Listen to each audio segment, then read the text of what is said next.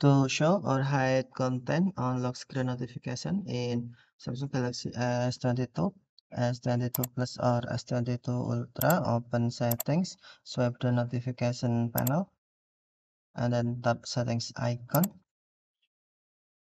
Scroll to the settings screen, find lock screen, and then select lock screen. Tap notifications, and then on hide content, tap switch until blue to hide content, or tap switch until gray to show content. Okay, you can see uh, example in here. If you tap uh, hide content switch until gray,